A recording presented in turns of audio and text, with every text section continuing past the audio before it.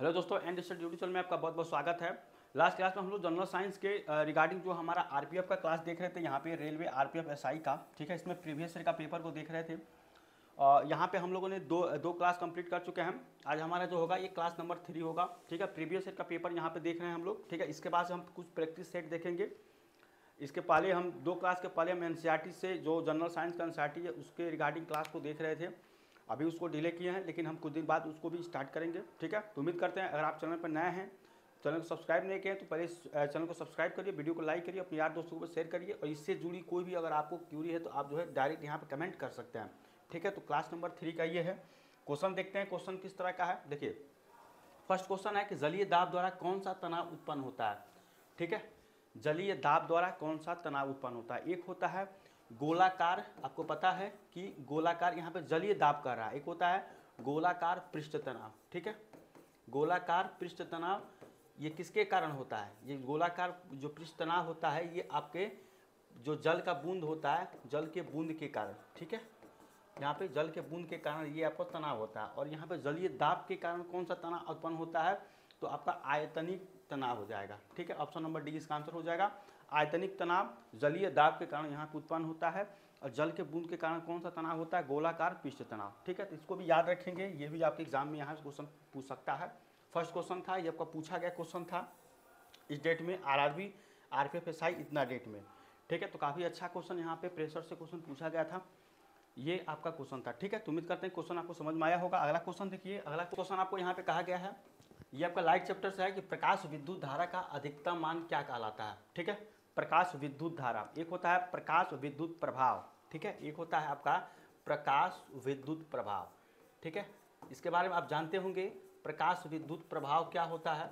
तो ये जो आपका होता है कि कोई अगर आपको मेटल है, ठीक है? यहाँ पे मेटल है, इस पर आप क्या होता है? इस पर लाइट पड़ता है, ठीक है? जब इस पर आप जब लाइट इस पर जब डालेंगे, ठीक है? प्रकाश जब इस पर डालेंगे तो क्या होता है? जब लाइट इस पर डालेंगे तो इससे क्या होता है? इलेक्ट्रॉन्स बाहर निकलते हैं। ठीक है? ये क्या निकलते हैं? इलेक्ट्रॉन। इससे क्या होता है? इलेक्ट्रॉन यहाँ पे बाहर निकलता है। जब भी लाइट पड़ेगा किसी मेटल पे तो इलेक्ट्रॉन क्या होते हैं? बाहर होती हैं। तो जो आपको क्रिया होती है, वो क्या कहलाती है? प्रकाश विद्युत प्रभाव, वो आपका कहलाती है। ठीक है? तो ये प्रकाश विद्युत प्रभाव के कारण था। आपको प्रकाश विद्युत धारा के अधिकतम मान पूछ रहा है। तो प्रकाश विद्युत धारा किसके मान होता है?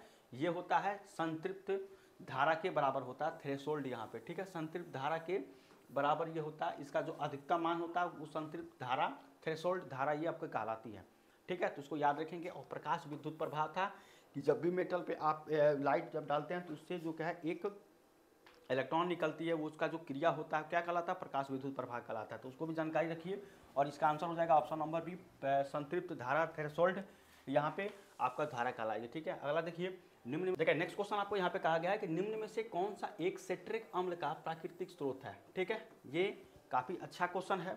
सेट्रिक एसिड का प्राकृतिक स्रोत इसमें से क्या है? ठीक है? तो उम्मीद करते हैं आपको क्वेश्चन जो है समझ में आ रहा होगा। सेट्रिक एसिड तो किसमें पाया जाता है? नींबू में। ठीक है? नींबू में यहाँ पे आपका सेट्रिक एसिड पाया जाता है। और आप देखिए तो ऑप्शन नंबर सी इसका आंसर हो जाएगा, नींबू। ठीक है? और दूध में क्या पाया जाता है? लैक्टिक अम्ल। ठीक है? लैक्टिक अम्ल यहाँ पे पाया जाता है। लैक्टिक एसिड ठीक है? लैक्टिक एसिड आपका दूध में पाया जाता है, इमली में क्या पाया जाता है? इमली में अगर आप देखिए तो टार्टरिक एसिड पाया जाता है, ठीक है? टार्टरिक एसिड ठीक है?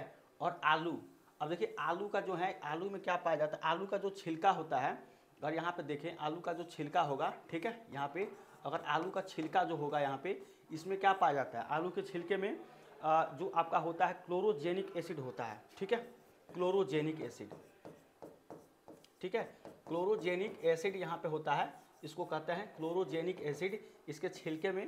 और ये क्या करता है आपको? जो है यहाँ पे होगा ये कैंसर के उप, जो है आप कैंसर से बचाता है। ठीक है? कैंसर के बचाव की कार होती ये आपका कैंसर के बचाव करता है। ठीक है? तो इसके छिलके में आलू में क्लोरोजेनिक एसिड पाया जाता है। ठीक है? और ये कैंसर के बचाव कार्य करता है। तो आपको सीधे पूछा था सेट्रिक एसिड का प्राकृतिक स्रोत क्या है? तो क्या है आपका? नींबू है। ठीक है? यहाँ पे हो जाएगा आप ऑप्शन नंबर सी। ठीक है, उम्मीद करते हैं ये सब सारा समझ में आया होगा। ये आपके एग्ज़ाम के पॉइंट ऑफ़ व्यू से काफ़ी इंपॉर्टेंट है। ठीक है, अगला क्वेश्चन देखिए। ठीक है नेक्स्ट क्वेश्चन आपको कहा गया है। काफ़ी अच्छा क्वेश्चन है कि किसी वस्तु को केंद्र से बाहर की ओर झुकाने अथवा ढकेलने के लिए कार्य करने वाला छदम बल यहाँ पे क्या कहा जाता है? ठीक है, कोई वस्तु है केंद्र से बाहर, यानी कि अगर कोई वस्तु यहाँ पे गति कर रहा है, ठीक है, ये आपका डायरेक्शन ऑफ़ मोशन हो जाएगा। अगर इसकी बात करें, कोई वस्तु है डायरेक्शन ऑफ़ मोशन ये हो जाएगा। ठीक है डायरेक्शन ऑफ़ मोशन ये आपकी वस्तु की हो जाएगी और इसके बीच में जो लगेगा, ये लगेगा आपका सेंट्रीपिटल फोर्स ठीक है? सेंट्रीपिटल फोर्स ठीक है? ये होगा सेंट्रीपिटल फोर्स लगेगा, ठीक है? अंदर की तरफ़ बाहर क्या लगता है? सेंट्रीफ्यूगल फोर्स होता है, ठीक है? सेंट्रीफ्यूगल फोर्स ठीक है? तो उसको याद रखेंगे यहाँ पे सेंट्रीफ्यूगल फोर्स होता है और ये डायरेक्शन ऑफ़ मोशन है तो अंदर क्या लगेगा? सेंट्रीपिटल फोर्स तो वही कह रहा, बाहर की ओर झुकाने अथवा ढकेलने के लिए कार्य करने वाला जो सदम बल होगा, वो अपकेंद्रीय बल होता है। ठीक है? अब केंद्रीय बल यहाँ पे सेंट्रीपिटल फोर्स ठीक है? तो इसको यहाँ पे याद रखेंगे। ये आपका हो जाएगा अप केंद्रीय बल सेंट्रीफ्यूगल फोर्स जो होता है आपका यहाँ पे, ठीक है? तो ऑप्शन नंबर सी इसका आंसर हो जाएगा, ठीक है? ये काफ़ी अच्छा क्वेश्चन था, आपका मोशन से क्वेश्चन पूछा गया था।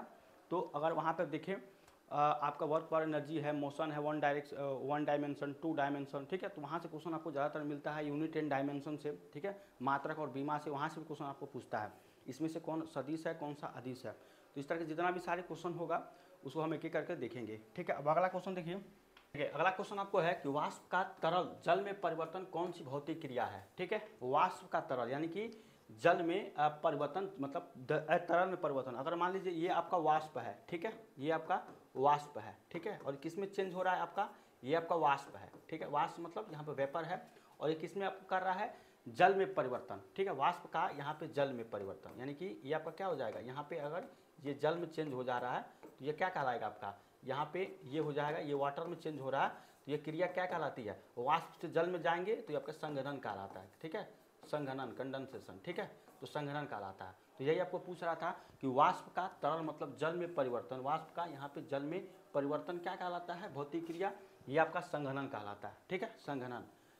कंडेंसेशन इसको कहते हैं। ऑप्शन नंबर बीस का आंसर होगा। ऊर्ध्वपातन में अगर आप देखें, इसको इसमें क्या होता है? इसका फार्मूला सॉरी इसका एग्ज़ाम्पल में ऊर्ध्वपातन में क्या होता है? एक होता है कपूर आयोडीन ठीक है? ये सब क्या है आपके? ऊर्ध्वपातन के एग्जाम्पल्स हैं। ठीक है? इसमें होता क्या है? ऊर्ध्वपातन सब्लिमेशन में कि कोई सॉलिड है, यहाँ पे अगर बात करें, यहाँ पे सॉलिड है, ठीक है? तो ये डायरेक्ट किसमें चेंज हो जाएगा? गैस में, ठीक है? ये डायरेक्ट सॉलिड से गैस में चेंज हो जाता है। मतलब अगर आप कपूर को जलाते हैं तो ये एक सॉलिड फ़ेज़ में होता है। जब जलाते हैं तो डायरेक्ट क्या होता है? वो जल के खत्म हो जाता है गैस फूज में। इसी तरह से आयोडीन है। आयोडीन सॉलिड में होता है, फिर उसको गैस में हो जाता है, ठीक है? तो ये आपका सॉलिड से गैस में ये आपका क्या कहलाएगा? ऊर्ध्वपातन कहलाएगा, ठीक है? इसको यहाँ पे याद रखेंगे ठीक है? और वाष्पन क्या होता है? अगर यहाँ पे बात करें वाष्पन का तो ये वाष्पन क्या होता है? यहाँ पे आ, कोई जल की यहाँ पे अगर आपके कण है ठीक है? और डायरेक्ट क्या होता है? गैस में चेंज हो जाता है यहाँ पे ठीक है? गैस में यहाँ पे जल का है ठीक है? और डायरेक्ट गैस में हो जाएगा तो ये क्या कहलाएगा? वाष्पन कहलाता है ठीक है? तो इस तरह के काफ़ी सारे एग्जाम्पल्स हैं। हर एक एग्ज़ाम्पल को जानने की कोशिश करिए। आपके एग्ज़ाम के पॉइंट ऑफ़ व्यू से काफ़ी ज़्यादा इंपॉर्टेंट है ठीक है? कोई भी दिक्कत है कोई परेशानी है डायरेक्ट आप कमेंट करिए।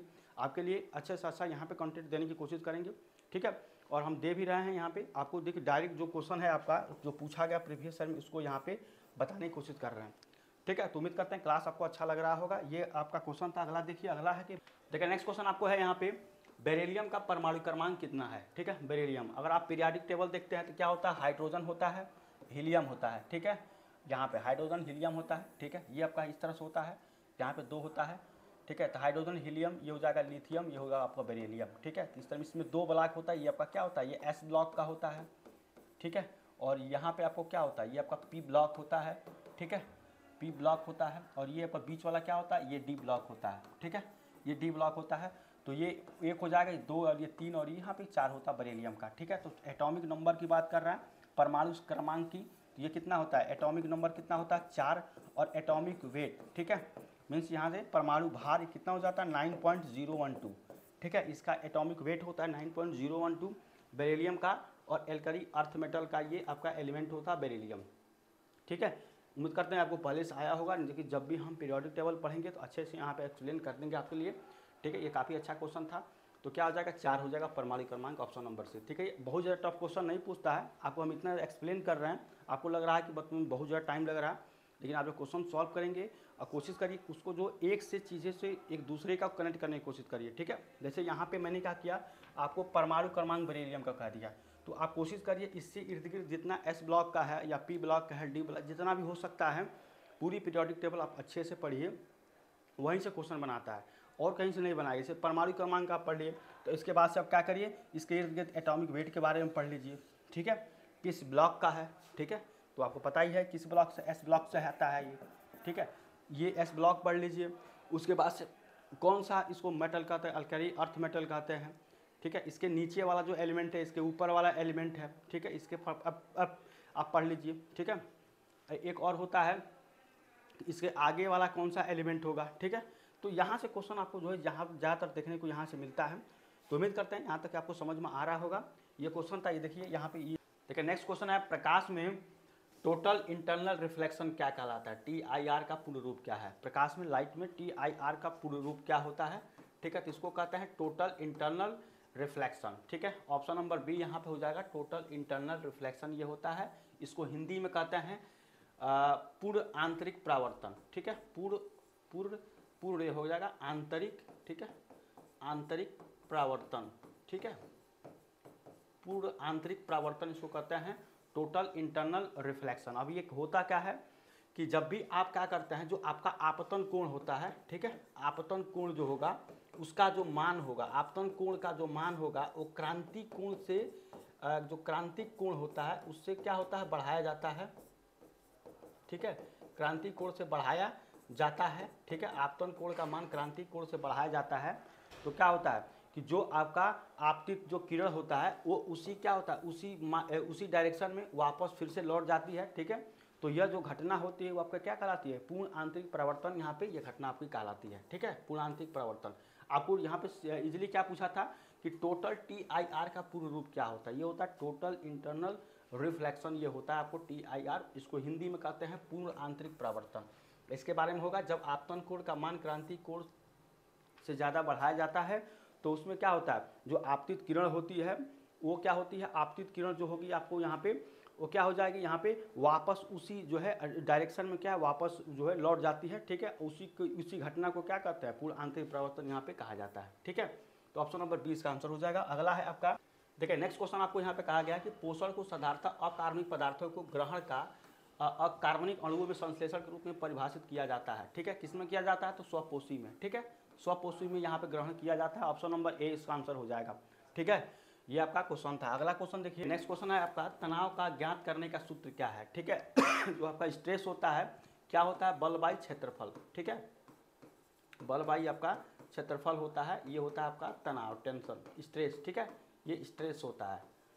स्ट्रेस क्या होता है? बल बाई क्षेत्रफल फोर्स बाई एरिया होता है। इसको यहाँ पे इंग्लिश में क्या लिखते हैं? फोर्स बाई एरिया ठीक है? तो ये आपका यहाँ पे क्लास ये आपका जो है, यहाँ हो जाएगा ऑप्शन नंबर ए ठीक है, तनाव का। इसके बाद देखिए नेक्स्ट क्वेश्चन नेक्स्ट का फिनाल का देखिए नेक्स्ट क्वेश्चन आपको यहाँ पे कहा गया है फिनाल का रासायनिक सूत्र क्या है, ठीक है फिनाल तो फिनाल का रासायनिक सूत्र क्या होता है? ये होता है six six H five O H ठीक है six six H five O H ये आपका फिनॉल का फॉर्मूला होता है, ठीक है फिनॉल फार्मूला ठीक है, इसी तरह से होता है एथिल एल्कोहल ठीक है, अगर एथिल एल्कोहल की बात करें तो ये क्या होता है आपका? C two H five O H ठीक है? एथिल एल्कोहल होता है, ठीक है? तो आपको पूछा था फिनॉल का फार्मूला तो देखें तो यहाँ पर हो जाएगा C six H five so C six H five O H ये हो जाएगा ऑप्शन नंबर ए इसका आंसर हो जाएगा, ठीक है? तो ये था हमारा आज का क्लास उम्मीद करते हैं आपको आज का क्लास अच्छा लगा है। अगर कोई भी डाउट है, कोई भी दिक्कत है तो आप कमेंट करके पूछ सकते हैं, बता सकते हैं, ठीक है?